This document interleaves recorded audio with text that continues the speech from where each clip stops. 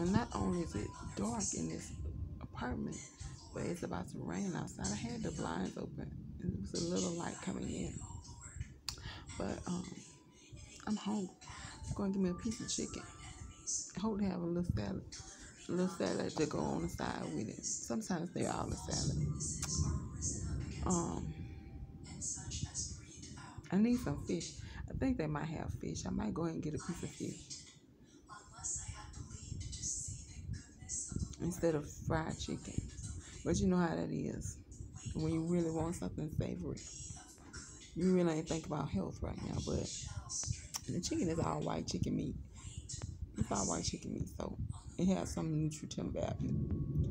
But um, and then the salad is good too. They got a little pinch of sugar in it. And, uh, I think a little mayo, but it's still healthy overall.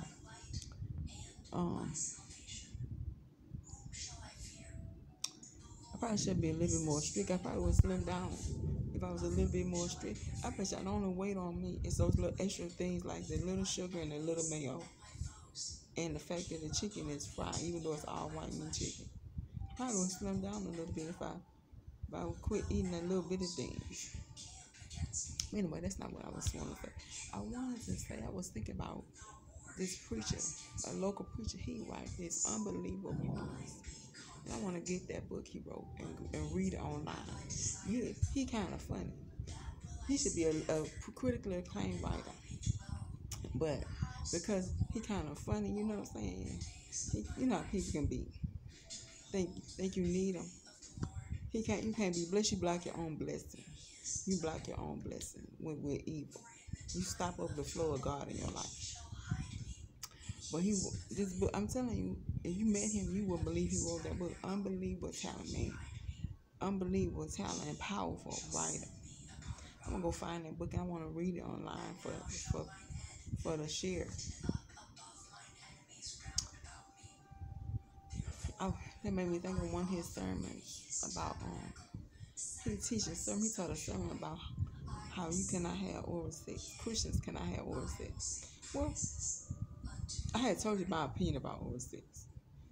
That's what I told you my opinion. My opinion is, is if you're passionate about somebody, it's gonna be hard to stop you from kissing them all over their body. But if that's your belief, then of course you have to follow your heart. But I don't think you need oral sex. You know what I'm saying? When when it comes to health, but how can you be healthy? You know what I'm saying? Who knows what is good health? You know, I think a woman, a good healthy woman, um, should be satisfying enough that you don't have to use your, your mouth. That's what I think. A good healthy woman is satisfied enough that you don't have to use your mouth. Uh, and that's my personal opinion. My personal, from experience over the years that I've learned, from my experience that I've learned over over time. But God is awesome. God is awesome. God is awesome. God is awesome. I, I consider myself healthy, and I believe it's because God is awesome. I believe that. But um, y'all want to get that book. I'm, I'm, I'm sitting there talking about Rev, and I, it's, a few people that know who I'm talking about. Because it's, it's not many local preachers that can write like he can. He is he is excellent Twitter. He's been nationally acclaimed. But so local people know who I who I'm talking about. But he sit up there talking about how he don't use his mouth. I, I feel like you are passionate about somebody. Girl, you ought to see him with with his wife. They call him the first lady. You ought to see him with the first lady child. I, I haven't seen him in a while. Times have changed drastically for whatever reason. So I really haven't seen him in a while. You ought to see him, child. He running around like a chicken with his head cut off, opening and closing the door. Yeah. Yeah, child.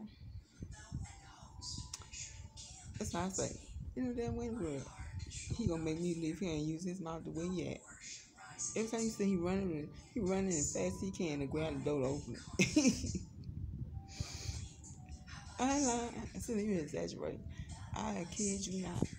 I kid you not. It'd be like coming to America. He used to come to America when Eddie Murphy got out the car and the women was dropping the roses. That's how he he jump up. He jump up every time she move and run fast as he can. Trying to tell me that there's no action, there's no passionate action going on there. Yeah, I believe that. But anyway, anyway, I want to get that book and read it. But I might, ask, I might have to ask his permission. He might not want me to read since I put his business out there. Ask his permission because um, some people just funny like that. You know what I'm saying? So I'm gonna go get it. I'm gonna go get the book. I, I, the reason I was thinking about his book because I was like, Lord, I wanna, um, I wanna work at this position.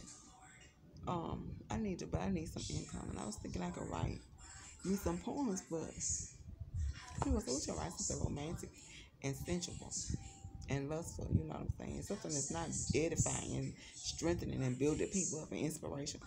So I'm like, if I write something inspirational, the only thing I believe in this world that we live in, I don't believe in positive things. I believe in faith. So if it would be something about faith, you know, so I might try to compile 30 or 40 poems about faith. I don't know. I don't know. I mean, and you a singer, a singer probably could think of something right away. You know what I'm saying?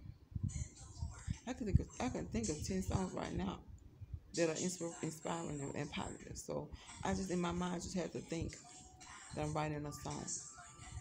You know, I wrote, I wrote, I, I do write.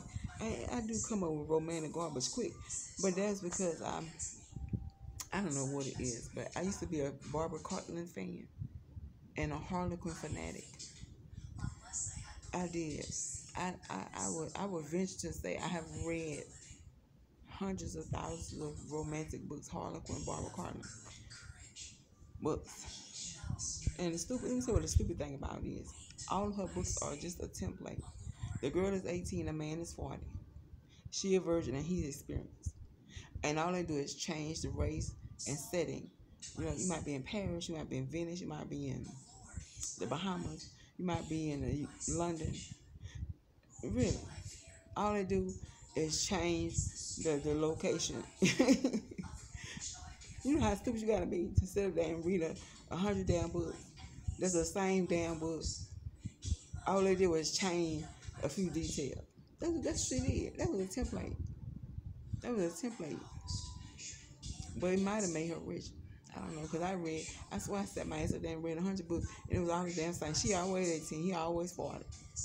She a virgin of his experience.